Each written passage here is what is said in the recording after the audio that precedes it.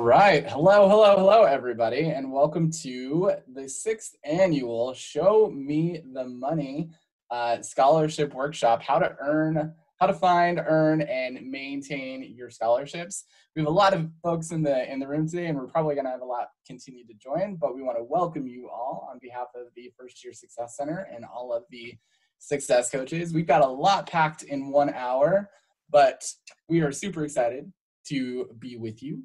And we'll go ahead and roll into some introductions so you know who's speaking to you. And if you can't tell, the theme of the day, it's money. And it's for those of you who are uh, Monopoly fans, maybe you've gotten into some serious Monopoly games with your family, with your friends. We got a strong Monopoly theme happening today. If you're not, you're about to learn a lot about Monopoly. so enjoy, sit back, enjoy the ride. We're going to have a great time today. We promise this will be the most fun hour of scholarship talk that you can possibly imagine. So, I'm going to introduce myself and then I'm going to turn it over to uh, the folks who are sharing the stage with me today. My name is Brandon Sowers, and today I am one of your Monopoly dudes uh, that's going to be talking to you. And I'm an assistant director for the center. I work in marketing and outreach, and I supervise some of the coaches. And I'm super stoked uh, to be with you and talking about scholarships. So I'm going to popcorn it over to uh, my co-host, uh, Lauren. Hello, hello, everybody. My name is Lauren Alley. I am a coordinator senior over here at the First Year Success Center. Uh, going to be playing one of your lovely pieces today. I'm very excited to talk to you about scholarships. And then also today, we are joined by Anastelle everyone. My name is Anastelle Pajuro. I'm a program coordinator within the uh, Financial Aid and Scholarship Services. And so I'm here to answer any questions and show you guys um, how to navigate the scholarship portal and all of the fun scholarship opportunities that we have on ASU websites. All right, so like we said, we're going to be your board game players today as we make our way across the Monopoly board. Um, but there's a couple of things we want to point out before we get started to help you make the most of this hour that we're spending. So here's the roadmap. We promised you in all of our all of our outreach, all of our marketing, we promised you that today we were going to talk about how to find scholarships. So we're going to cover that, how to plan for scholarships, and most importantly, if you already have scholarships and you receive new scholarships, how are you going to maintain those scholarships? What are you going to do to make sure that you keep all this dough, all this money that you're earning? So we'll talk about that. And then lastly, we have a secret recipe, a secret strategy, the scholarship mindset, which we promise if you get this mindset, you are going to be in the best position and people will be showing you that money. So that's our roadmap and that's what we're doing today. One of the things that we want to point out to you now, I learned that this man is actually named Rich Uncle uh, Pennybags. And we've got him featured throughout the presentation today. Um, whenever you see Rich Uncle Pennybags on a screen, this is probably where we're pointing out some of the most important information that we think that you should have. Lauren's got that cash. Wave that again, Lauren. You got it in the air. This is the most important piece. So what we recommend is when you see him, be thinking, okay, I need to go ahead and write this down, or that sounds pretty old school. I'm going to go ahead and take a picture of that content because I'm going to return back to it later. So have your eyes out. I'll be sure to point it out as well, as will my co-hosts, um, my players today, and we'll point out that information for you. Second, we're not boring and we don't expect this to be just a presentation where you get talked at. We want you to engage. So we've got a chat here. Of course, this is Zoom. You know how to chat. Ask us questions. Ask each other questions and speak out. Think of this chat if you play Monopoly and if you haven't, think of the chat as a community chest where it's a resource where you can ask questions, engage, support one another. Our coaches are in the audience today as well, so we're all going to be talking together as we go throughout. Um, so make sure that you just engage and we'll have fun together that way. So let's dive right in. Let's get started. We're going to talk about finding scholarships. And the one thing that we want to recommend when you're finding scholarships is that you think of the chance card. And when you think about finding your different scholarships, you want to give it the chance method. So you're going to be selective. You're going to choose the scholarship opportunities that you pursue, right?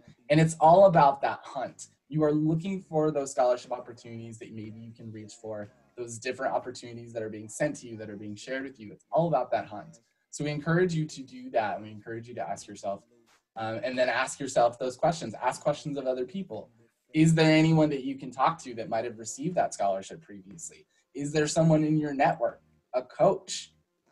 We're going to plug a lot today, a success coach that you can ask questions of.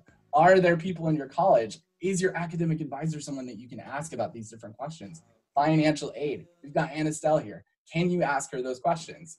And then always, always, with all of these scholarships that you're going to be looking for, take notes you might be looking for a lot of them, right? So you've got to have notes on specific ones that you're looking for because the last thing that you want to happen is have all of these scholarships and then they all kind of become a blur because maybe some of them sound similar. So always take those notes and make sure that you're making those details happen about those scholarships. C, and this one's a big one commit.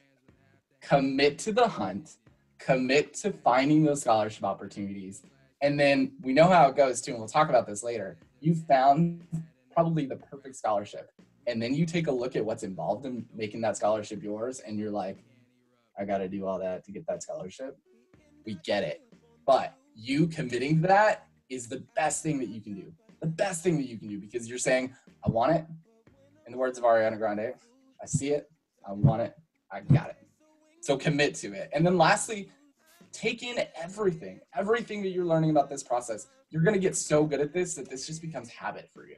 So take in everything, take that chance card and pull it out from that deck and that's what's going to make this happen. So we're going to have that chance chance method in our heads throughout this whole presentation today and throughout this whole workshop. So I'm going to turn it over to Anastassia. All right, thank you so much, Brandon. So what I'm gonna do right now, I'm gonna share my screen so we can just look at what we have at ASU. Here we go. So this is the main resource. This is where I always show all of my students simple URL scholarships at asu.edu and it gets you right front and center.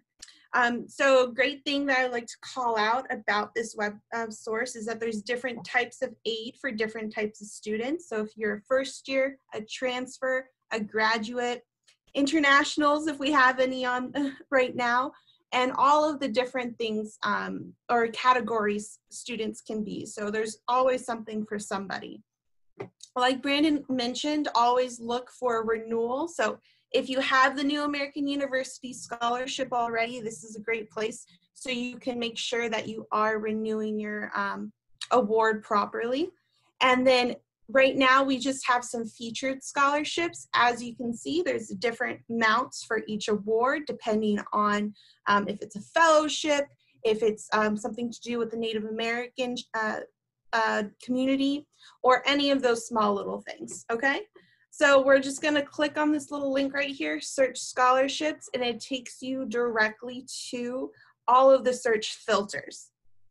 The main thing about these filters is that sometimes if you put in too much, then you are narrowing your search. So we do want to kind of cast a wide um, net of what is out there and what you're, you qualify for. So you can put in your residency if you're an Arizona native or if you're out of state. Like myself when I came I was from uh, Vegas so I was non-resident. And then you can go through your GPA I was also a transfer student. So here we go. And just through those two you can see that we have 145 out there for a non-resident transfer student. And good things to look out for, of course, is the deadline. Um, because a variety of scholarships can have a variety of deadlines. Some of them are coming up pretty soon, but then there's others that are going to go out there. And the more that you look through the pages, you can see that some of them are already for next year. So this is really good for you to plan because even if a uh, scholarship opportunity is coming up and you haven't had enough time to prepare to reach out to a um, letter of recommendation if needed. So like for example this scholarship this requires a recommendation letter. Um, and then it also another good thing to look at is if it's need based So if you have uh, filed FAFSA, you might know what need is. So need basically uh, shows if you have to, um, if you have a Pell Grant, that demonstrates that you have need. Um, some of them don't care. So you can see here, this scholarship for undergraduates doesn't care, but then some of them, here we go. Oh, no one cares right now. But that's okay. That doesn't mean you're not qualified. It just doesn't look at, uh, you know, if you have need. So it's not uh, a limiting criteria. It's just something also to look for. Um, and a great place if you already kind of know what you want to look for. So say if you are in um, if you are in music, and this could just be any type of music. It could be with uh, the actual um, College of Music here at ASU, or you can see here we have a wholesale Halloween costumes for $500. So here's a quick 500 all you have to do is use your creative abilities to show and earn that scholarship money, which is what we're here for. And you can see all the different criteria. So they don't care about your GPA. They don't care if you have a FAFSA on file. It's open to non-residents and resident students. You can be full-time, three quarters, or even half-time. And you can be any type of student too. So this is a nice one that is real wide range it's for first years, graduate students, law students, whoever you may be. So all you would have to do though is go to their application link. So this is also another thing to look out for.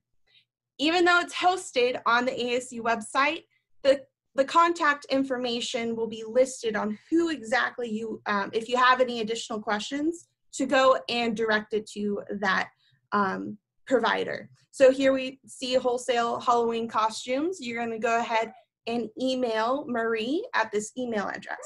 So always look at the contact info. And then as well, there's the application information. So sometimes there's a link to go ahead and uh, go to that third party member. So that one is a great one, very open, very general.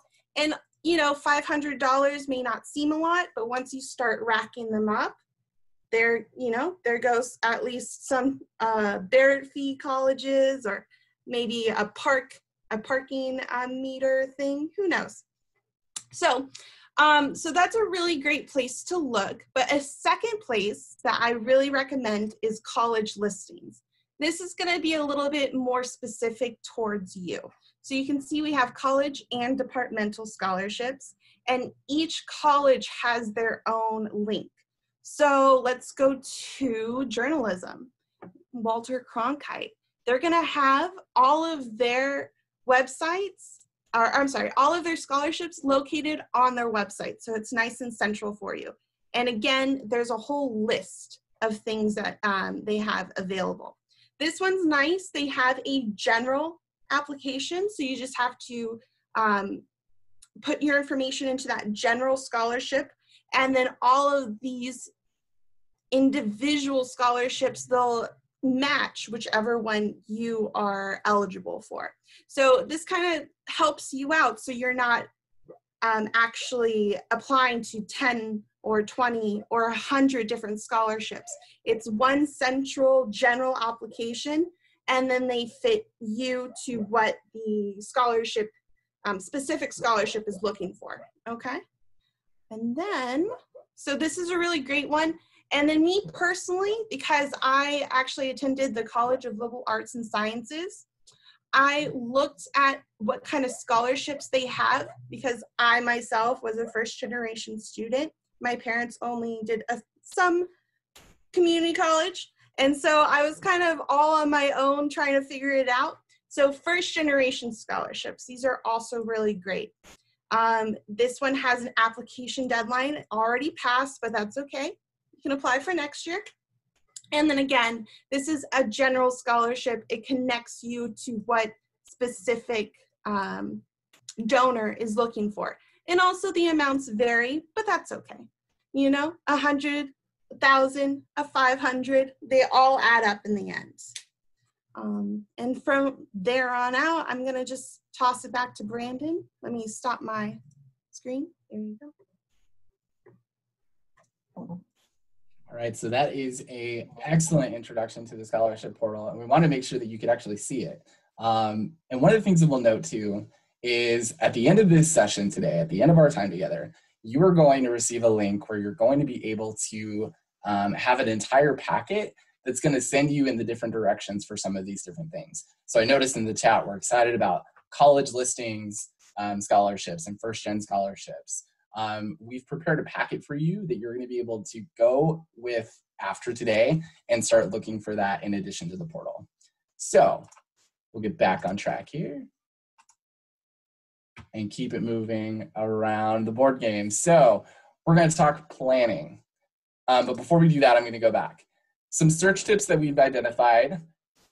You can see Uncle uh, Uncle Rich Pennybags uh, is on the screen. These are really important important tips. You're going to be searching for a lot of scholarships, and you're going to come across a lot of opportunities. But if anyone is asking you to pay for your scholarships, abort mission. Do not proceed.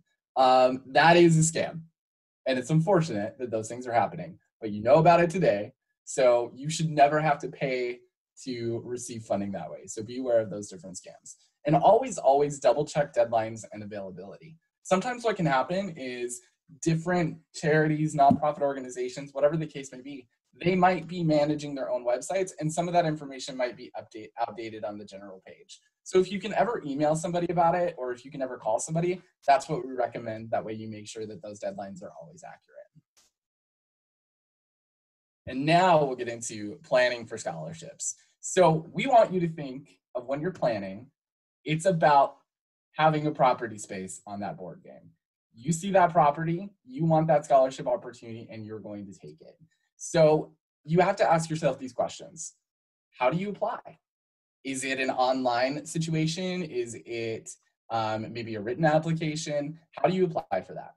Ask yourself, what are they asking for? What are they asking for me to submit? Is it my transcripts? Do they want a resume? Do they want a personal statement? All these different things when you're planning for your property, um, you need to be asking yourself that way you make sure that you're hitting all the check marks that they're looking for. Um, do they want references?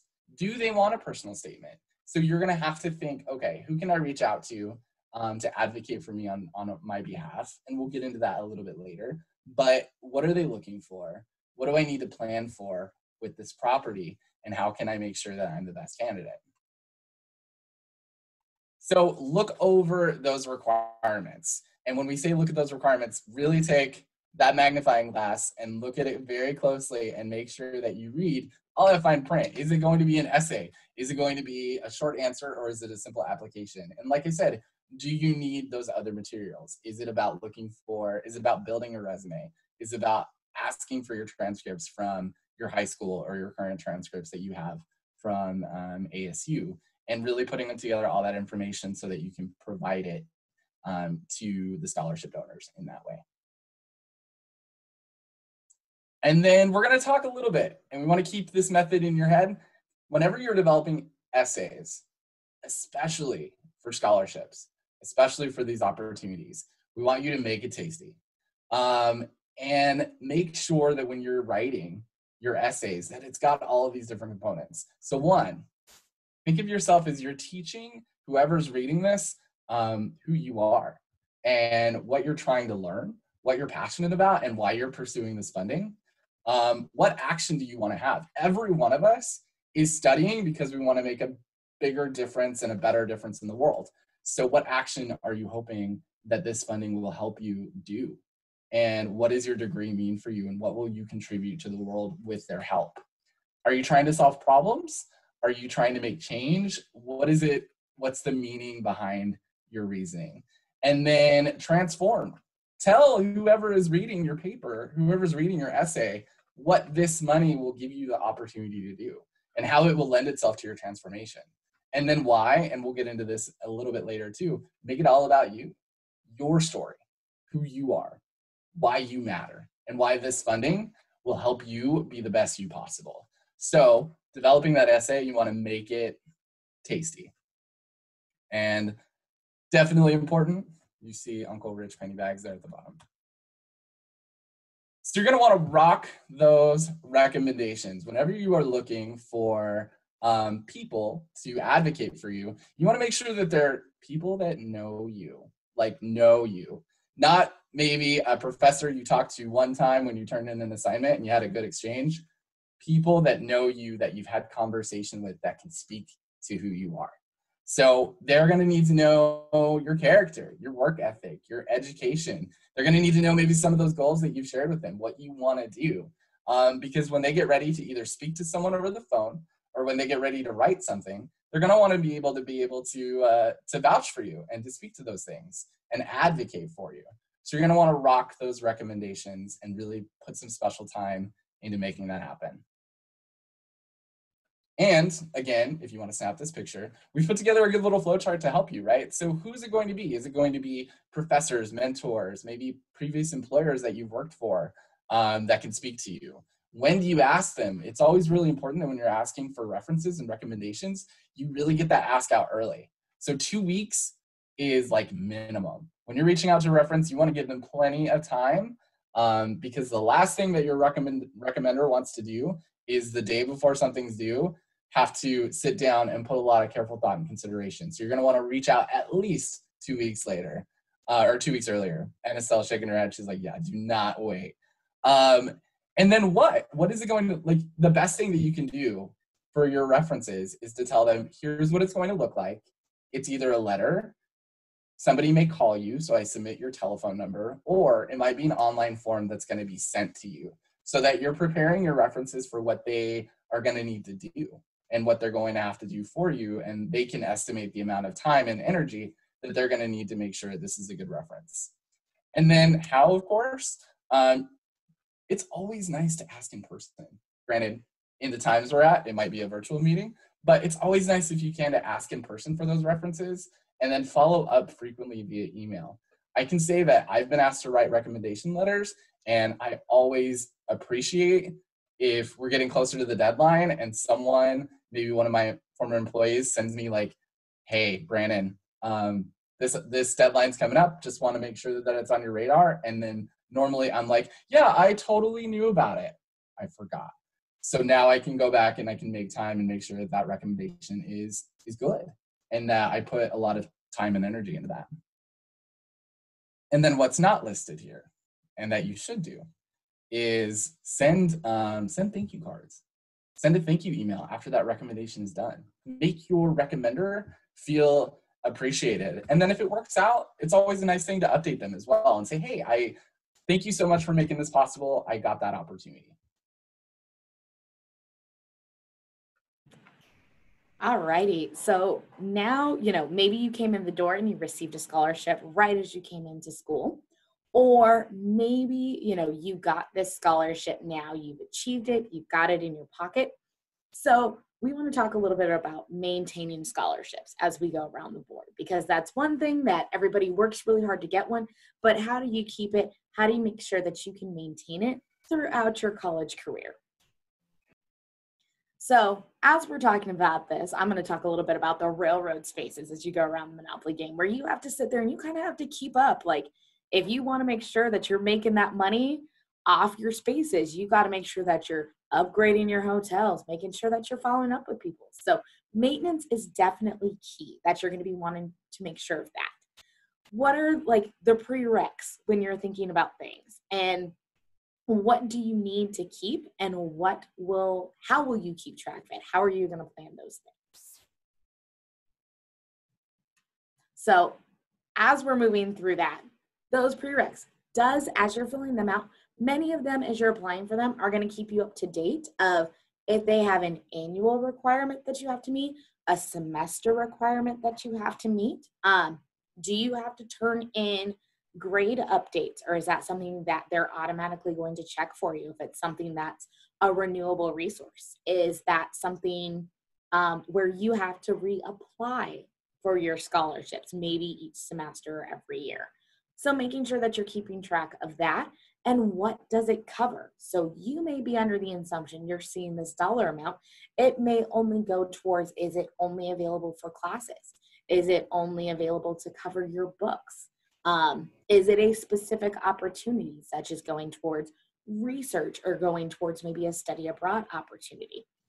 So, making sure that you know exactly where that funding is going to go and asking those questions. If it's not clear to you in the application, definitely understand and follow up on where that funding is going to be going so that you can make sure that you're keeping up to date with that. When Anastelle was walking you through the portal, there's also spaces where you can go with some of those general scholarships as, such as like the new american university scholarship where you can see what those renewal requirements are and things like that. So following up with your specific donor or with asu to see what those requirements are keeping track of your deadlines is also a really big one is that you're going to want to write down so if you have renewal dates coming up if you have submission timeframes that maybe a specific donor wants your GPA every semester and you need to turn in a transcript every semester, or possibly um, if you have volunteer hours that you have to do to maybe maintain a scholarship. When are those due? When are those deadlines coming up? Also, tracking your disbursements. Um, some of our smaller donors, you know, when you have that coming up every year, it may not come out automatically. So that's a great thing to kind of keep in your planner and writing those dates down and setting those reminders so that you can still make sure that you're meeting all your deadlines. You don't want to lose a scholarship solely because you missed turning something in. And then monitoring your balances. So making sure that you're on your MyASU, making sure that you're looking at your financial portal to make sure that that scholarship has hit your account it's been applied to your balances and that it's being applied in the correct ways that have been discussed. So making sure that you're always looking into those things to fulfill those requirements. And then losing a scholarship. So sometimes things don't go as well as planned. You maybe didn't get the grades that you were hoping for, or maybe, you know, you popped into things and um, let's say you had to drop a class and now you don't meet the credit requirement. Things like that. It's definitely not a huge thing to worry about. There's always ways to revisit your notes, what you wrote down when you were applying for that scholarship, reaching out to your donors, touching base with financial aid um, to see if there's a way that you can get that scholarship back or is it just being decreased. On the financial aid website, there's also a scholarship maintenance plan so if that is something that maybe you're falling into those realms that, ooh, I'm not going to meet the credit requirement for my scholarship because I had to drop a class. What do I do? There are so many resources out there. We want to make sure that we're not getting thrown this go to jail card right now about our scholarships. We're going to find a way to keep going around that board so we can get closer to making it around and pass and go again.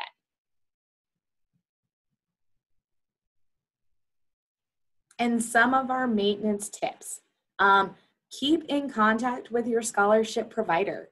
Don't just take the money and run.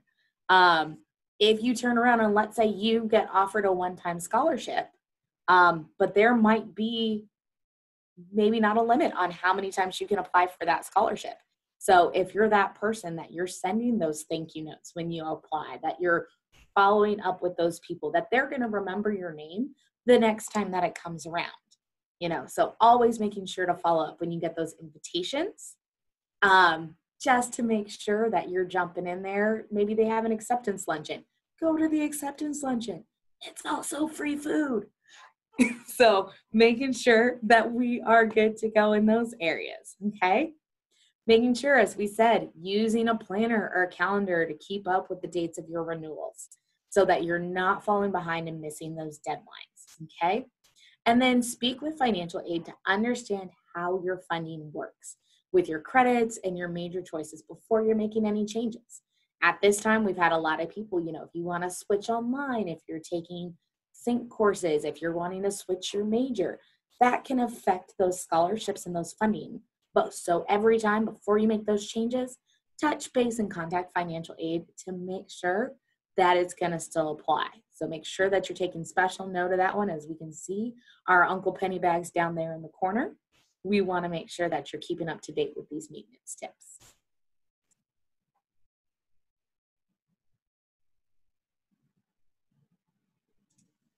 All right. So we've saved the most important piece for last because the reality is that you can have all of these different resources in front of you. You can have the scholarship portals. You can have the property that you're interested in. You can have all of these different things. But if you're not in the right headspace and you're not in the right mindset, how far are you going to get in this search? And like we said earlier, you you're not just going to go for one scholarship. You're going to go for many. I've heard of students like applying for 30 plus scholarships in one year um, as they're renewing. You're going to go for so many. And that's exciting, but we also know that applying for that many can also maybe be a little bit draining, right? And especially right now with everything that we got going on, it's like I can't even think past like next week. How am I going to do this? You've got to have this mindset, and we'll talk about it, and we'll get you. We'll acknowledge some things we might be feeling, and then we'll work through those things together, right? So, getting to that mindset, like Lauren said, once you pass go, um, you're there, you're navigated, you're feeling motivated. Now it's it's time to turn it, turn the framework, and it's all about you. And you've taken a chance, and you checked out a railroad that you're interested in, and you purchase property. So right off the bat, just by getting started, in your mind, right? Not yet, you haven't earned the two hundred dollars yet, but in your mind, two hundred dollars, and I'm good to go. So think about it that way. You're already winning by starting. You're already winning by going across the board, right? But we want to acknowledge some different things that you might be feeling when you get on the start. I know, and I felt this just myself when I was looking for scholarship opportunities. It's like, oof, I'm already overwhelmed. Like this seems like a lot. Like all these resources, all these different things that I've got to use. Where do I even start with all of this? I'm a current student now I got to worry about applying for future scholarships when I'm also trying to like get good grades. I'm also trying to maybe work a part-time job. I'm also trying to take care of all my other responsibilities. I have so much going on. Um, and then there's that big feeling of what if I apply and nobody says yes? And what if I get rejected by that? And what if I what if I don't get it? Um, that's a lot of work. And I don't know, do I apply for the ones that I just feel confident about or do I apply for ton because I don't want I don't like rejection. I'll be the first to tell this group, all 130 of us, I don't like rejection either. But when it comes to scholarships and when it comes to these opportunities, you've got to put yourself out there for a lot because there's a lot of students nationally, globally that are competing for a lot of these different scholarship opportunities and there's a lot of funding and it can be yours. Don't limit yourself by that mindset and then the other thing that we get into is there's so much writing. Everybody seems like they're asking for an essay or they're asking for short answers or they're doing those things. Why does everyone need that? It's that opportunity in the essay for you to set yourself apart, right? So we acknowledge that all of these feelings and all of this mindset is very real. And we know it's real. And we totally relate and we totally understand. But it's about working through those, being proud, of your story, being proud of who you are, and then putting all that together in a package that you're going to be able to use over and over and over again for all these different scholarship opportunities. Because, yes, scholarships are going to be looking for specific things about you, but they all want to know about you too. So, if we keep that mindset of, I'm me, and I stand out, and I am unique in a sea of people, and I know how to talk about myself, then this scholarship search is going to be um, fluid for, you. And it's going to become a practice. And it's going to be something that you're actually going to schedule into your time. You're going to make time for it and be committed to it that way. So um, we've got a couple more things to do, but what we want to tell you, as I mentioned this earlier, when you leave today, when we adjourn, um, you are going to get a whole lot of material from us that's really going to help you kickstart this search. So our grand prize today, the cash pot, if you will, um, is what we're what we call the All About You packet, and it's going to help you go through and start looking for these different things that we know scholarship donors want to know about you, your story, um, where you're from, what you want to study, your passions, all of your interests. That's going to be given to you in this packet that you're going to be able to download and that you're going to be able to start using to really help you. And it's going to make all of this work that you've got to do a little bit easier because it helps you get started and it helps you start finding those things that are important. So, like I said, once we get through that today, once we um, make our way and we adjourn later in the session, you'll get that link and you'll be able to download it for yourself just by attending today. But before we get going, um, there is a number here that I have on the screen. Um, $3,312,373. Um, I would love to be able to say that's the amount of money that we're giving to you today just for attending. Congratulations, your education is paid for. Um, but this number is significant, and the reason why it's significant is because of our staff of nearly 90 success coaches and desk aides. Collectively, we have earned in our center over $3 million, $3.3 million in scholarships and grants. So, why I'm telling you this is because we have our success coaches and our staff that they're right there in the thick of this with you. They are starting their own scholarship search this year. They are preparing their materials. They are freshening up their resumes. They are getting stuff ready to go because the scholarship deadlines are opening. So, what a better opportunity for you to be able to say, Hey, I know you're getting it started. Let's do this together. Let's meet. Let's talk about your search. Let's talk about how I can get started and I can be a resource for you. Um, and you can experience coaching if you haven't yet. If you're joining us today and you have not met with your success coach, this is an excellent, excellent coaching topic that you're going to be able to take post this event today and go and meet with your success coach, take your materials, and be ready to go.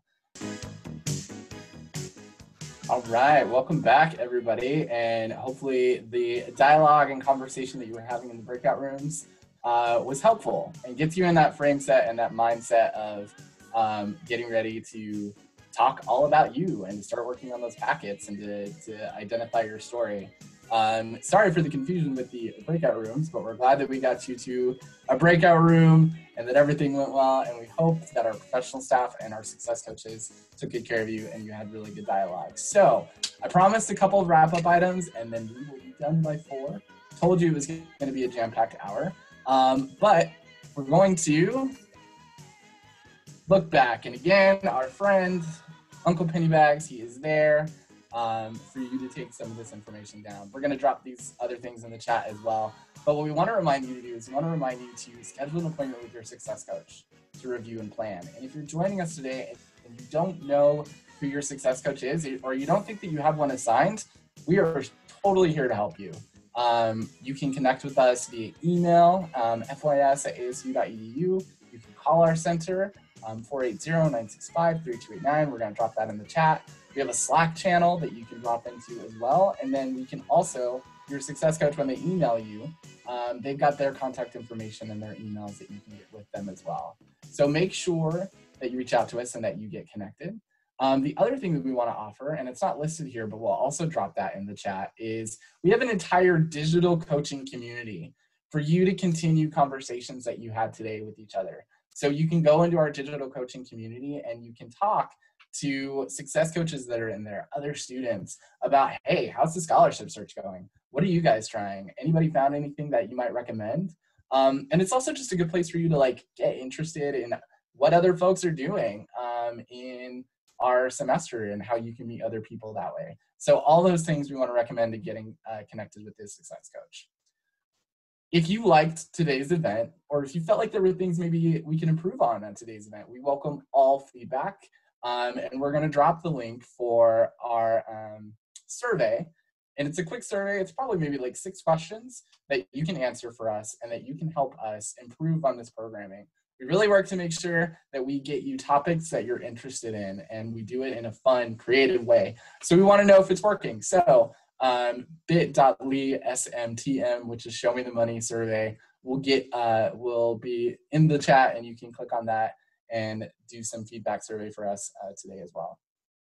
And then we want to ask you to join us. If you are a first gen student in the audience today, and you are the first in your family to attend a four-year institution um, in the United States, well then you are a first gen student. We want to congratulate you and we want to celebrate you for being first. And we have First Gen uh, National Celebration Week, which is happening next week, um, leading up to Celebration Day on the 8th. So we've got a whole lot of uh, different opportunities planned and different things that your success coach will be sharing with you if you're first gen. Um, so look forward to that email and that material from us next week. And we want to know how we can celebrate you and appreciate you for your journey that you've made thus far. And then lastly, the grand prize that I told you about earlier, um, you're going to be able to go to this Google Drive from the First Year Success Center and download the All About You packet, download the different scholarships, both college, both first gen scholarships, and both national scholarships pages. And then you'll also be able to download a PDF of the presentation as you saw it today. So we had you take pictures and we had you do those kind of things too, but you're going to be able to receive this whole presentation in a PDF format for you to be able to look at.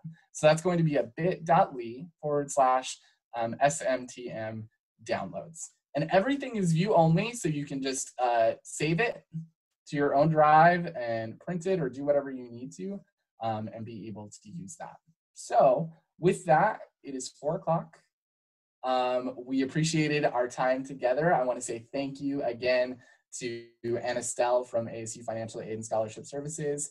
Thank you to, yes, thank you to, uh, to Lauren, um, co-host for this opportunity. And then of course, thank you to all the success coaches and professional staff um, today. So with that, we wish you well and go make them show you the money, Sun Devils.